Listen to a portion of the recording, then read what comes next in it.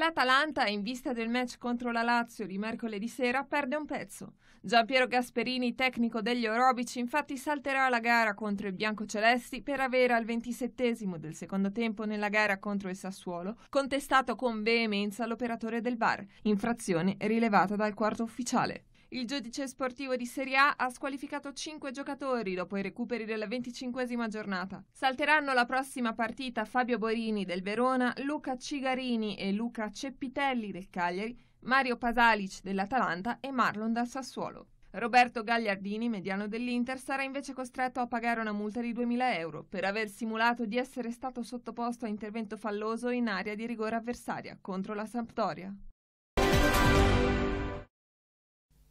In vista della trasferta di Bergamo contro l'Atalanta, in casa Lazio si apre il ballottaggio per una maglia da titolare in attacco al fianco di Ciro Immobile. Simone Inzaghi sceglierà tra due attaccanti diversi che offrono due modi diversi di giocare. Da una parte Caicedo, che offre più fisicità, può offrire sponda immobile, permettendogli di giocare in profondità. Dall'altra Correa, tanta velocità, pochi punti di riferimento, dribbling e ampi spazi. La staffetta tra i due sembra la scelta più probabile.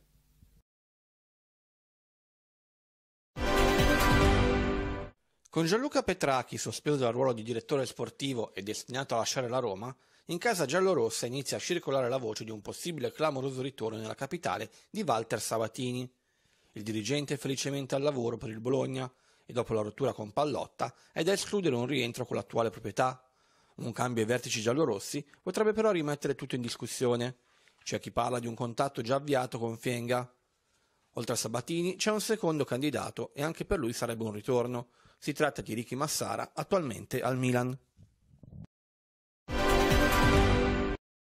La Honda può sorridere, la spalla di Marc Marquez è completamente guarita. Ad annunciarlo lo stesso pilota spagnolo in occasione di una gara virtuale tra squadre composte da giornalisti e appassionati. Sono completamente guarito, posso già fare motocross normalmente. Spiega il campione di Cervera che oltre a parlare delle condizioni della sua spalla, operata a fine novembre 2019, si dice entusiasta del ritorno alle corse reali di MotoGP. Non vedo l'ora di tornare alla normalità, riprendendo a vivere la nostra passione più grande, ha affermato il sei volte campione del mondo di MotoGP. Gran premi senza pubblico? Sarà qualcosa di strano, come fosse un test. Sarà freddo e diverso. Ma è meglio vedere uno spettacolo alla televisione che non vederlo affatto, conclude il pilota della Honda.